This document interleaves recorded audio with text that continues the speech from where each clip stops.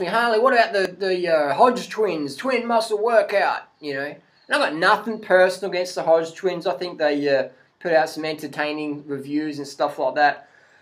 My gripe, however, is with the uh, intermittent fasting. Now, that, that they people, someone asked me, Harley, they eat two and a half thousand calories a day. How come they have to fast so much when I eat two thousand five hundred calories for fucking breakfast? I eat more, or that's about the same as the Hodge twins for breakfast, as those guys eat in a day.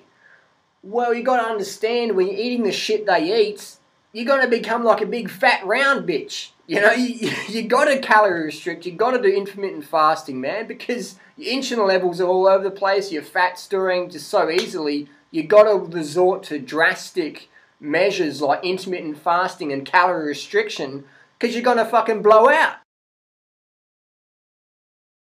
And you can tell by how lean my face is, how cut my face is, and how puffy they are, that they're on the edge of just boom, becoming big, round, fat.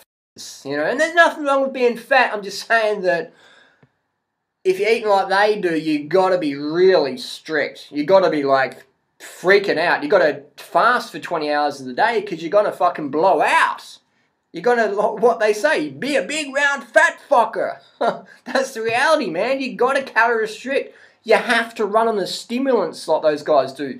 Look at what the the Hodge twins sell. Correct me if I'm wrong, but don't they sell that jack stuff, that little powder fucking stimulant box? And you can see under their eyes, they're just like stimulant, stimulant, that big black under the eyes, that you know what we call in the gym the the juice eye. You know the the eye, the thousand yard stare, and we all know what that. They can see how thick my hair is. You know, it's like good calories, man. Good calories in there. So when people were intermittent fasting and their face is really puffy and you know, just got to be careful, man, with your health. You can't get caught up in fad diets and stuff like that. My recommendation is eat all the calories you want. If you have to cut your calories and fast, you're eating too much shit. no, you're eating shit full stop. If you have to limit your calories, you're eating the wrong things.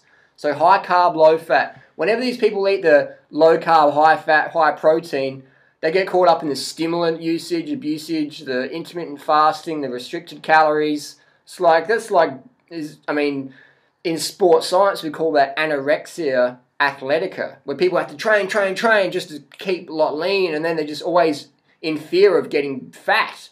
So I say watch people in two two years time, five years time, ten years time. Watch where people are at. People don't see that down the long term, though, do we? We just see right now today. We think, wow, that looks that's that's working, but it's not. You can look at the clear signs, look at the small things, and they add up to the bigger picture. So, nothing personal against anyone, just showing my comments and criticisms. Post your comments down below. Thanks for watching. Want to learn more? Hit subscribe. Peace.